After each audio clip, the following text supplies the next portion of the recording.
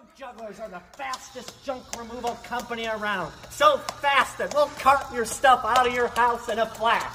Call the Junk Juggler, 630, no, 625-8808. You can look us up on the web at the Junk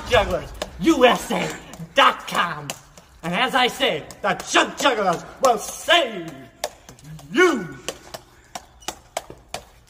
money.